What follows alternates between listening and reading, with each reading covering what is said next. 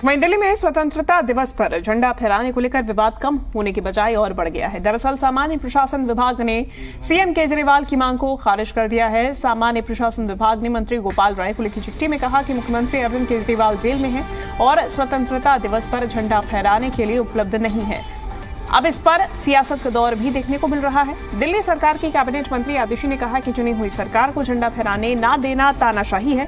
मंत्री को झंडा फहराने की अनुमति नहीं दी जा रही है।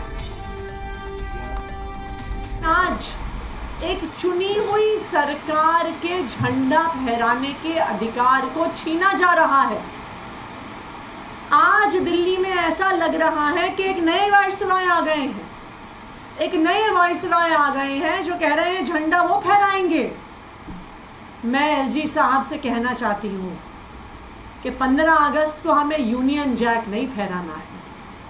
15 अगस्त को हमें स्वतंत्र भारत का तिरंगा फहराना है और वो तिरंगा फहराना देश के लोगों का अधिकार है, दिल्ली के लोगों का अधिकार है, दिल्ली के लोगों द्वारा चुनी हुई सरकार का अधिकार है।